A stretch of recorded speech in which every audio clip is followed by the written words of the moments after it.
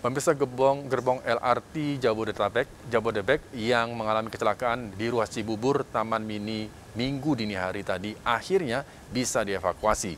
Menggunakan dua mobil crane dengan kapasitas 200 ton, gerbong LRT dievakuasi dalam kondisi rusak parah.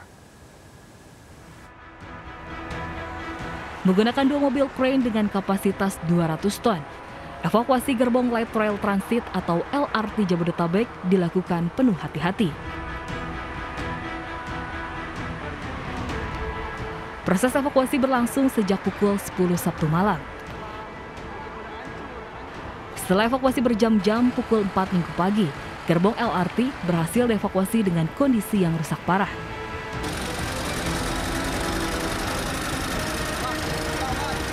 Gerbong LRT ini rencananya akan dibawa kembali ke depo LRT di Madiun, Jawa Timur untuk diperbaiki.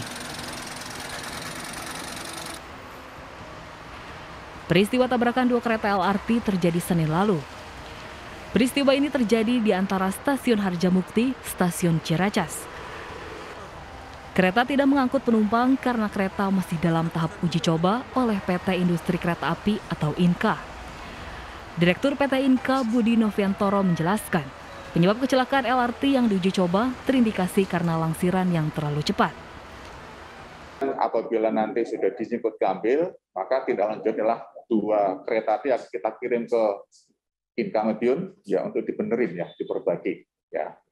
Itu aja sih secara singkat. Uh, untuk selanjutnya detailnya mungkin akan tunggu berikutnya. Ini baru awal ya.